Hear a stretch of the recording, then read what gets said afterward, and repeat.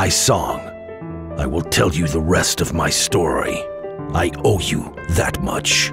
We were so happy together. Hellion and I.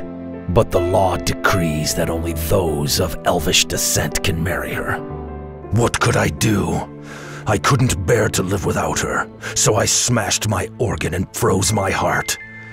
I didn't realize it would threaten the whole world. They say that my family descend from the elves, but the ancient document confirming this was lost centuries ago.